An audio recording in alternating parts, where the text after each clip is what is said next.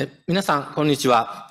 え今日は、えこの本審査にお集まりいただきましてありがとうございます。え私の方から、えこの、プレゼンテーションコンクール2021で、この、え狙いについてまずお話をさせていただきます。で、このコンクールの狙いですが、まず、え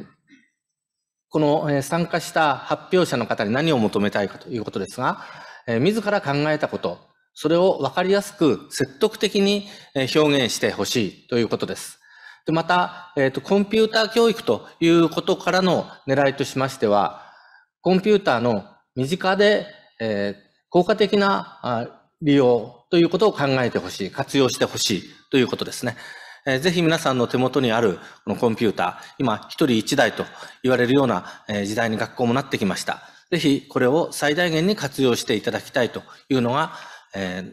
もう一つの狙いということになります。で、そこで一体何が審査されるのかということです。でまず、内容面です。で分かりやすいこと、それから、えどれくらい深く考えているか、その考えの深さですね。でそれから、え説得力があること。でさらに、あの、面白いことと。で、これは、やはりそれぞれのこう個性を十分に出していただいて、あ、なるほど、面白いこと考えてるなというような、まあ、そういうことを、えー、ぜひ内容的に、えー、出していただきたいということを期待しています。もう一つは発表の仕方です。で話し方というのはもちろんです。でしかし、えー、プレゼンですので、皆さんスライドというのをかなり使ったビジュアルな発表をしてくださいます。でそのスライドの見やすさとか、デザインの工夫ということも評価されます。で今年のこの2021ですが、まあ、テーマは、例年大体こう同じようなテーマ、人との関わりということをかなり大事にしています。人との関わりを通して自分が、えー、変わる、そういうきっかけとなったことについて、まあ、体験談をプレゼンしてほしいということです。で、応募状況ですが、えー、パナソニック教育財団のえこの研究助成を受けた、え学校というところに募集をかけています。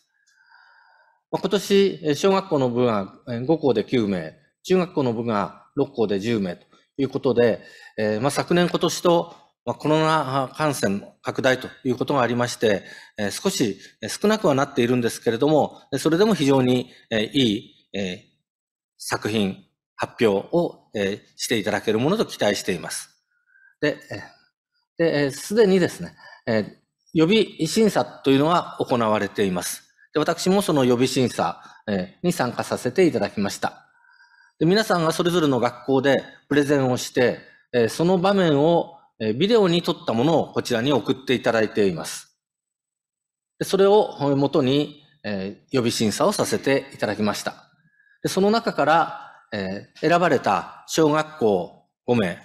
中学校5名が、え今日の本審査に臨んでいるということになります。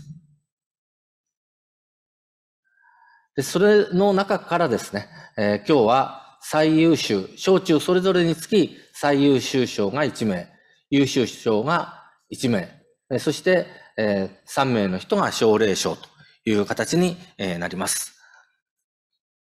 えっと、私たちも一回そのビデオというのは拝見しているわけですけれども、まその後本戦、今日の本審査出場ということが決まってですね、おそらく、まあ、さらに、あの、練習も積んで、え今日はいい発表を見せてくれるのではないかということを期待して、えー、います。きっとあの、緊張も、えー、されると思いますけれども、えー、ぜひ、これまでの練習の成果を、えー、今日は発揮していただければと思います。以上、私からの挨拶とさせていただきます。